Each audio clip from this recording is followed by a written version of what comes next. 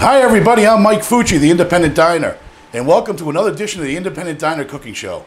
So, here we are in my kitchen, and tonight we're going to make wonderful chicken breasts. They're going to go with a Red Bliss mashed potato with garlic. Delicious. And also a white wine pear sauce. Unbelievably special. I hope that you're going to enjoy this. I'm going to be showing you how to make this stuff very easily. Tonight we've got halved pears, pear juice, one lemon, pancetta, which I'll explain in a minute, and some sugar. Now, the pear juice, for one, is fresh. I extracted it from a juicer. You don't have to do that. You can get it out of a can, so don't worry about it. It usually takes to get this much about 20 pears. So you can imagine the work I've done today. Now, the pears, I've halved up maybe five of them, but we're not going to use all of them. They're just there for decoration, okay? The pancetta, which is like Italian bacon. It's delicious. It's really fatty, but so good.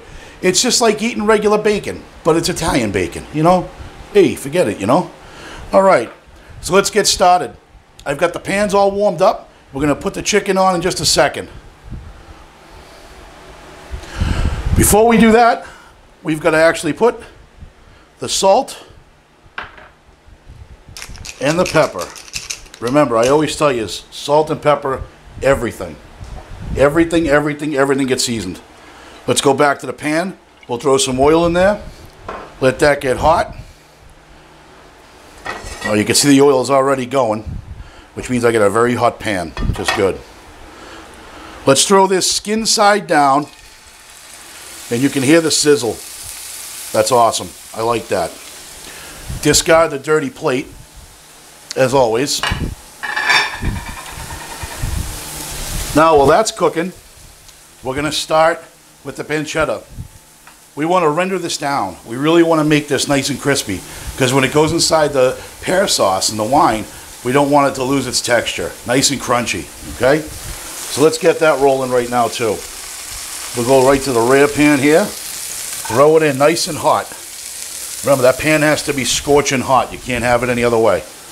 That there. Now, now my cameraman Joe has this thing. He loves to watch me roll out a lemon. So I'm just going to do it for him right now. So roll out the lemon always because you're going to release all the juices on the inside. You know, you really need to get them out there and it'll help loosen up the seeds too, which is really cool. That way you can just strain it with your hand. Give that lemon a slice and I'm going to throw it right back in here. That's prep for later, okay?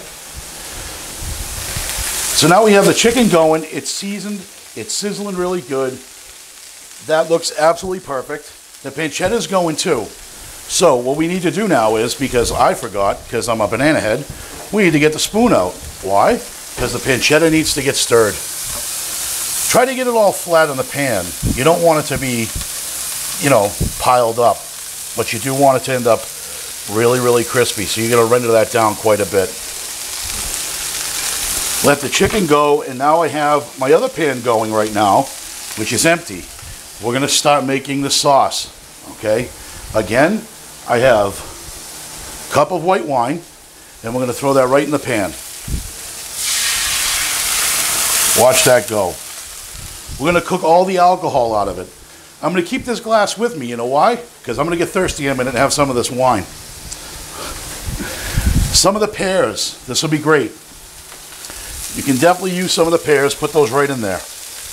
That way it starts off and gets the pans nice and the uh, pears nice and soft.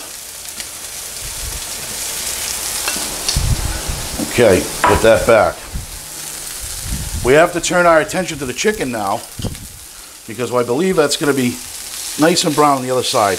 And boy, was I right. Nice and golden brown. Absolutely perfect. The chicken's probably going to take about six to seven minutes. The pancetta is probably going to take about two minutes to cook on a really high heat. This sauce is probably going to take three to four minutes. The key to the, the pear sauce is to make sure that, like I said, all the alcohol is burned off and that the pears start to get a little soft. So now at this point, I'm going to add the pear juice. Right in the pan. Now, I probably used about cup of pear juice. You don't want to overdo it. You've got a nice wine in there. You've got the pear juice and you've got the pears. And the pears are going to soak up a lot of that wine flavor. So let's make sure that you take care of that and don't go crazy with a ton of pear juice. At this point, I'm going to add a little bit of sugar to that as well. So I'm going to come over here. Uh, I'd say about two tablespoons worth of sugar. Also, be surprised, I'm to add some salt. But a teaspoon of salt. Remember, uh, salt is really a, a flavor enhancer. We're not looking to make it salty, we're looking to enhance the flavors that are already there. So keep that in mind when you're salting stuff. Now, we're to let that render down a little bit. That pancetta looks just about done. We're to shut the heat off on that, which I'm a liar. We'll shut it off there. See how it's nice and smoky over there? Looks good to me. Nice and brown. Move it around. That looks delicious. Absolutely perfect. Your chicken's still going. Pretty soon we're going to be done. We've got about four more minutes for this entire dish. And we're going to be right back with you. See you in a minute. Hey everybody, welcome back. Now it's going to be time to turn the chicken. So we'll get that turned over. It's going to look really good on the backside. Brown just like the front. Perfectly cooked. Perfectly cooked. Excellent. I love that. The next thing we're going to do is we're going to grab your hand towel because that is going to be a hot pan back here, boy. I tell you what. We're going to put the pancetta right inside our pear sauce. Just get it all in there nice. Then we're going to stir it around. That's going to be perfect. Now, here's the key. Here's the key to the world. Here's something that people don't really teach in cooking anything. This is called the slurry. This is what's going to tighten up our sauce. If we were to render that down and keep rendering it and rendering it, we'd be here all night to a complete reduction. We don't want to do that. It's a sauce. It's going to be absolutely delicious. This slurry is actually just flour and water. Cold water, actually. You put that right inside here. You stir it around nice like you see me doing here with a fork. You'll be good to go. Okay? So we're going to pour the about half the contents of this cup. So that was about a third of a cup of slurry. Come back with our spoon and we start stirring. Well, that looks good. That is starting to come together nicely. Okay. Get that turned all around. Right at this point, I'm going to crack some pepper on there. And then I'm going to squeeze my lemons right in there. Get that lemon juice in there. Why lemon? Because you can't get hurt with citrus, that's why. Citrus won't hurt you.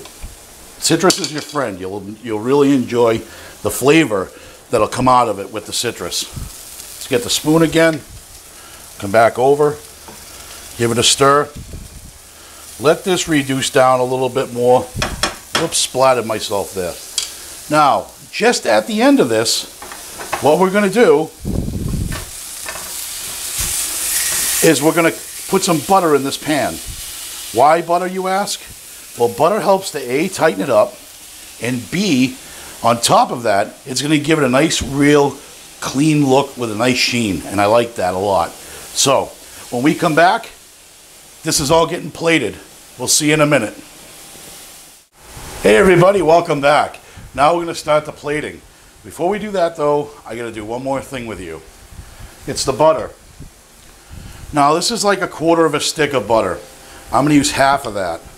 Okay? Just half. I'm going to go right here in this pan. Again, it's going to make it nice. It's going to tighten it up a little bit along with the slurry and it's also going to give it a nice clean sheen look. I like that. It's going to be glossy.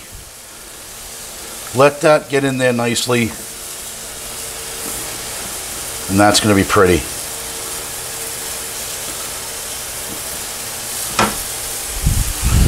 Okay, so now our chicken is done. So let's take this off here and we're going to rest it right here on our cutting board.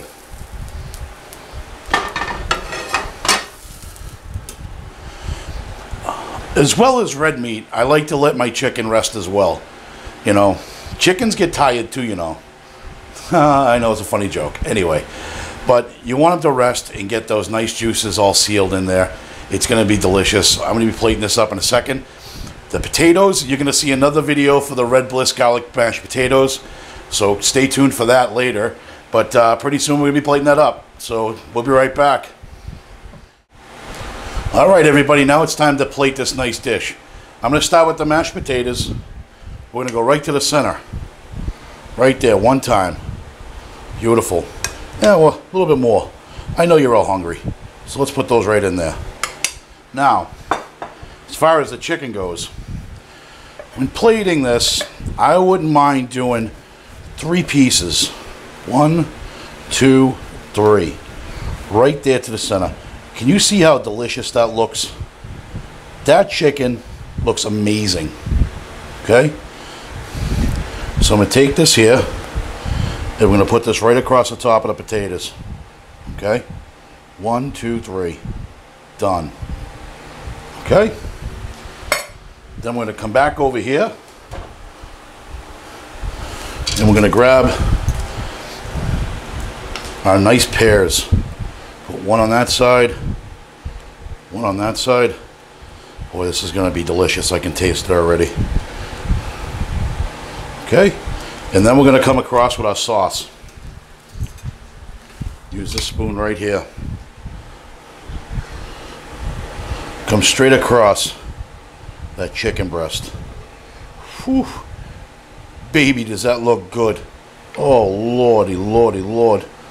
Come on. Call a doctor. I'm going to go to the hospital, man.